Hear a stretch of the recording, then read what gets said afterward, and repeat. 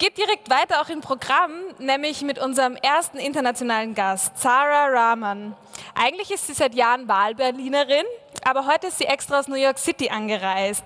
Sarah macht nämlich gerade ein Fellowship bei der Research-Organisation Data and Society, wo sie sich mit den Themen Technologie, Machtverhältnisse und Gleichberechtigung und deren Schnittstellen beschäftigt. Sarah ist Research Lead bei der Engine Room. Ihr Vortrag trägt, trägt den Titel von Menschen, Daten und guten Absichten. Sie spricht über unvorhergesehene Konsequenzen von Daten und darüber, was man beachten muss, wenn man mit Daten arbeitet. Ich bin sehr gespannt. Hallo Sarah.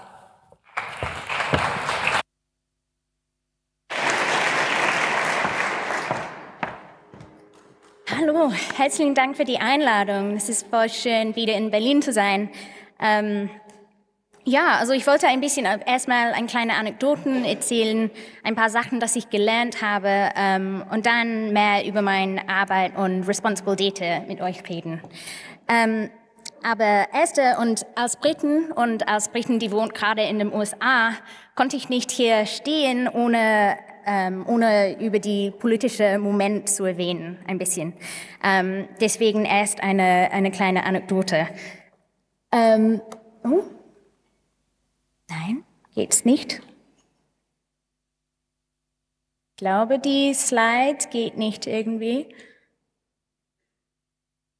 Na gut, ja, also erstmal eine kleine Anekdote. Ähm, vielleicht hört ihr schon, äh, ich komme aus England und äh, die Woche vor dem Re Referendum für Brexit, ich war hier in Berlin und ähm, ich habe die äh, Umfragen geguckt und auf dem Internet geguckt und ich hatte totale Panik. Ähm, ich wusste nicht, welchen Hashtag zu benutzen, zu unterstützen für die Remain-Campaign. Ich wusste nicht, an, äh, welche Kampagne war die beste. Es gab so viele eigentlich. Es gab Stronger In, Stronger Together, Vote Remain. Und ich hatte total Angst, dass es nicht so gut organisiert war. Deswegen ähm, zwei Tage vor der Referendum, ähm, ich habe mich einen Flug nach England äh, gekauft und bin nach äh, Manchester geflogen. Und da bin ich die Tag, ähm, an der Tag der Re Referendum in Manchester, wo ich aufgewachsen bin. Ähm, und ich habe versucht, mit Leuten zu ähm, reden auf die Straße vor, das, vor der, die Wahl äh, und zu überzeugen, warum sie sollten für, ähm, für Remain wählen. Und das war eigentlich sehr schwer. Äh, ich habe mich mit einer, äh, ich habe mit einer Frau gesprochen und sie hat gesagt, dass ähm, sie wird für Leave ähm, wählen. Und ihr Grund war dieses Bus oder dieses Slogan. Äh, Slogan. Vielleicht kennt ihr das schon. Äh, das ist total falsch. Äh, aber sie sagte, dass deswegen wird sie für Leave, ähm, Leave wählen. Und ich könnte sie nicht überzeugen. Ich habe wirklich lange versucht. Ähm, und sie, am Ende hat sie gesagt, wer soll ich denn glauben? Der Politiker oder eine Frau, die ich gerade kennengelernt habe auf die Straße?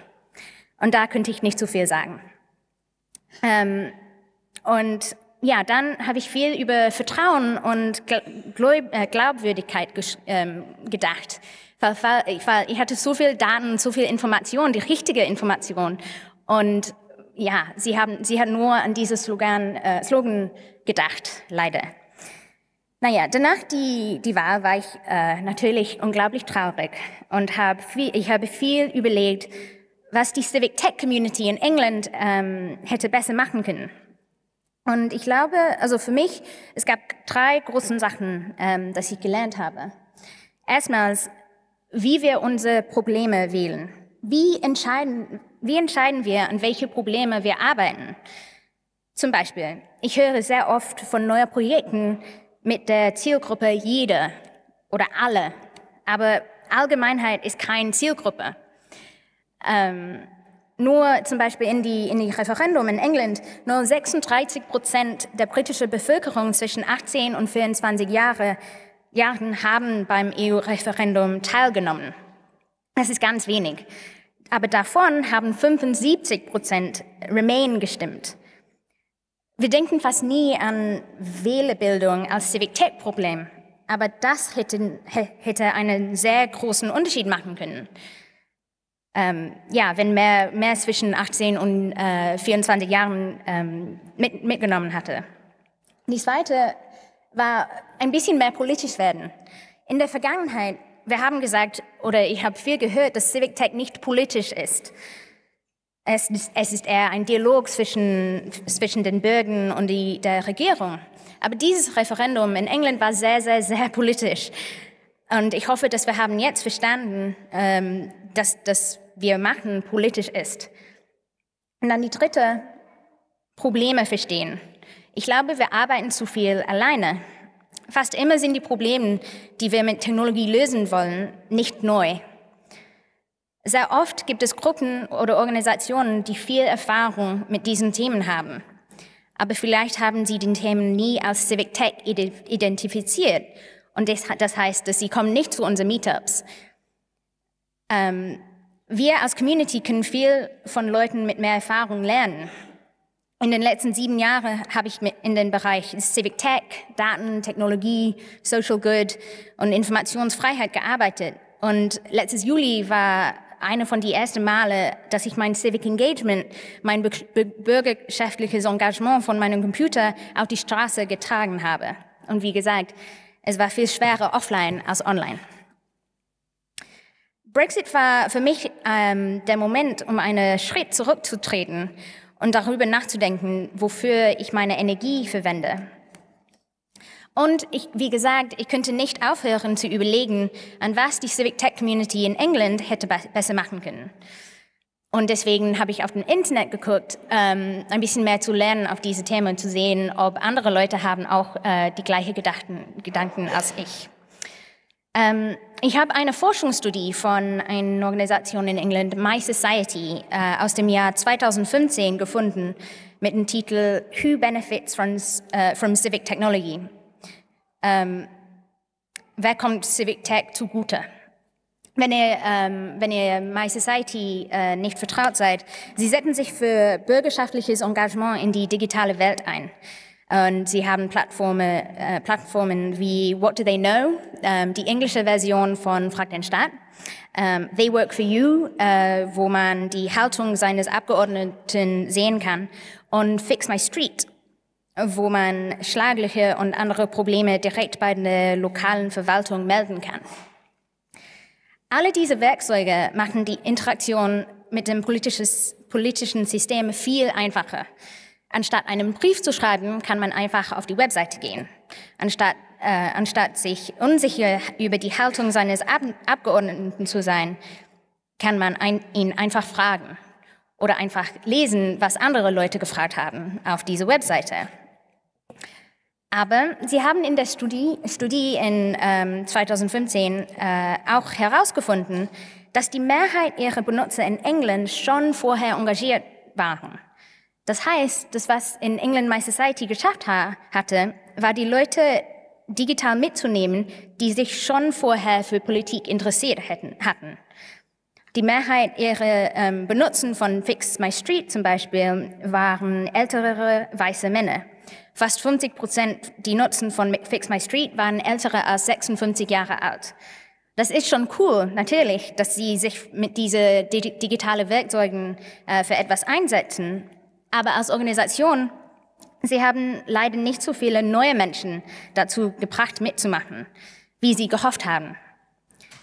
Die Werkzeuge haben nicht so sehr mit sozialen Ungleichheit geholfen, vielleicht eher das Gegenteil.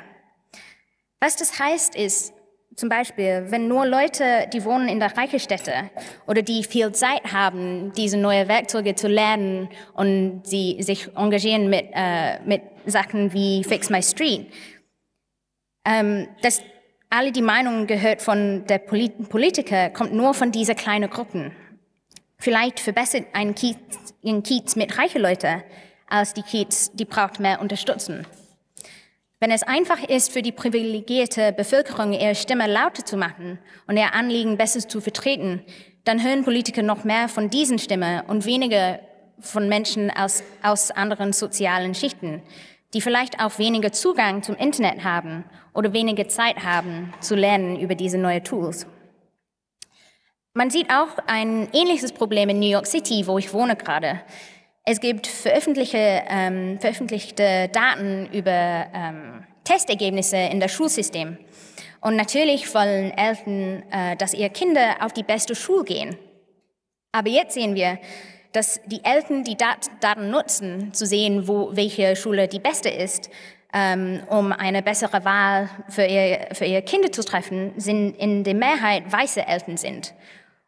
Und jetzt, es gibt ein Schulsystem mit viel Segregation. In beiden Beispielen ist klar, guten Projekten und Ideen mit guten Absichten sind nicht genug. My Society arbeitet zum Beispiel sehr lange, ähm, mehr Leute zu erreichen und ihre Arbeit zu verbessern. Und sie machen ganz viel coole Tools und ganz viel coole Arbeit. Ähm, aber ähm, sehr, würden sie ihre eigene Arbeit nicht mit Studieren erforschen, wäre es sehr schwer zu erfahren, ob sich etwas ändert. In meiner Arbeit sehe ich diese Probleme, sehe Probleme wie diesen jeden Tag.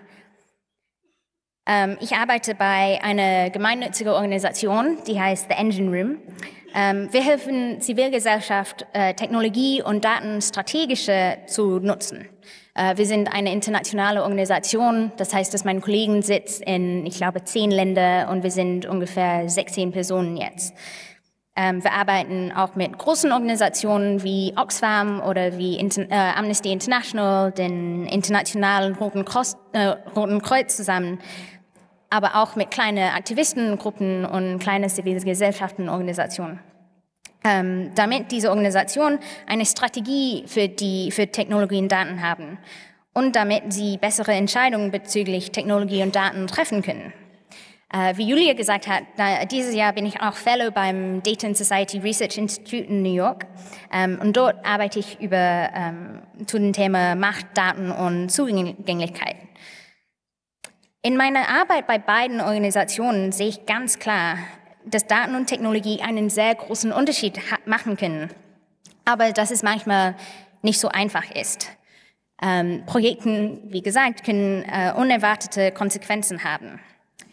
Bei äh, The Engine Room äh, leite ich das Responsible Data Programm, wo wir zum Thema ethische Implikationen von Daten und Technologie im sozialen Bereich forschen und unterstützen auch.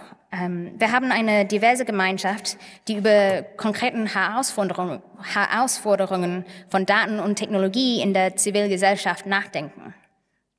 Oft meine Arbeit bei The Engine Room und mit der Responsible Data Programm besteht eher daraus, Fragen zu stellen, als Antwort zu geben. Und das Ding ist, es, es gibt fast nie eine definitive Antwort. Kontext macht einen großen Unterschied. Das heißt, dass manchmal eine Antwort für ein Projekt äh, soll die Gegenteil sein von ein anderes Projekt und ein anderer Kontext und ein anderes Land. Und das macht Sachen eigentlich ein bisschen schwerer, ähm, immer zu helfen. Aber wenn wir über Responsible Data reden, es gibt ein paar Kernprinzipien, das ich wollte mit euch teilen. Wir denken an Risiko. Ähm, und damit meine ich, äh, was ist die schlimmste Sache, die mit den Daten von einem Projekt pass passieren könnte? Manchmal machen wir eine Übung. Wer sind unsere Gegner? Was können Sie mit die, den Daten machen, die wir gesammelt haben? Oder mit, mit den Informationen, die uns vorliegen? Und das äh, kann manchmal ein bisschen schwer sein und das kann natürlich sehr schnell ändern. Ähm, die zweite ist Macht. Wer sieht, wie sieht die, das Machtverhältnis im Kontext des Projekts aus? Wenn zum Beispiel wir arbeiten mit einer wichtigen Hilfsorganisation, die Daten einer gefährdeten Bevölkerungsgruppe sammeln möchte. Wir sehen ganz klar, dass es äh, besteht ein Ungleichgewicht. Und ich glaube, das ist sehr wichtig, wenn wir denken an Consent oder an, an was wir fragen und ähm, an welche Daten wir sammeln wollen. Dann Absicht haben wir unser Tech-Projekt strategisch und absichtlich organisiert? Oder sind wir eher reaktionsfreudig oder unter Druck von anderen? Und da sehe ich ähm, ziemlich oft, dass Stiftungen oder Fundes ähm, manchmal haben ein, ein, sie wollen einen Wunsch oder etwas sehen in einem Proposal und dann Zivilgesellschaft äh, schreibt etwas oder macht ein neues Projekt mit dieser coolen neuen Technologie und wenn wir fragen, warum habt ihr diese neue Technologie in diesem Projekt? Die Antwort ist nicht, weil, weil das die beste Technologie ist für dieses Projekt. Das ist eher, weil wir Geld bekommen können. Und dann Nützlichkeit. Wem nutzt das Projekt? Wer kann unser Projekt wirklich nutzen? Und wie wissen wir das? Ähm, ich mag, was Fiona gesagt hat vorher über offene Daten aus, äh, dass wir können offene Daten mehr mit Zugänglichkeit denken, weil ich glaube, das ist sehr wichtig. Es gibt ganz, ganz viele Leute, die haben keine Ahnung, was offene Daten und Maschinenlesbarkeit eigentlich ist. Aber wenn wir denken mehr an was, wie können wir diese, diese neuen Leute mitbringen in unsere Community, dann können wir einen großen Unterschied machen. Ähm, und wie Fiona gesagt hat auch, ich glaube, ein, ein guter Best Practice da ist, mit den Betroffenen zu arbeiten, anstatt für den Betroffenen. Es ist wichtig, mehrmals über diese Sachen zu denken. Ähm, und wie wir gerade in den USA sehen, Kontext kann sehr, sehr schnell ändern. Mit vielen Zivil, mit viele von der Zivilgesellschaft, die ich arbeite mit in, in den USA, die Risiko hat sehr schnell geändert. Äh, die Gegner hat sehr schnell geändert. Und jetzt versuchen, und jetzt ich sehe, und in den Tagen danach der Wahl in den USA, hat viele Organisationen ein, ein Notfallstrategie-Meeting gehabt. Ähm, und ich glaube, das ist sehr, das war sehr wichtig. Und wie ich sehe, gerade in den USA und in England, ähm, äh, die Civic Tech Community und ehrlich gesagt ganz viele Communities sind am Moment sehr, sehr panisch. Und sie versuchen, wie gesagt, neue Strategie zu, zu entwickeln. Und vielleicht wichtiger, sie, sie überlegen, was wirklich ihre Impact, ihre Wirkung ist. Ich glaube, also ich hoffe, dass um selbst unser, unseren Impact zu reflektieren, sollten wir nicht hier in Deutschland ähm, auf eine politische Ernstwahl warten. Und letzter Gedanke. Daten öffnen und Daten nutzen macht keinen Unterschied, wie ich in England gesehen habe, ohne Glaubwürdigkeit und Vertrauen.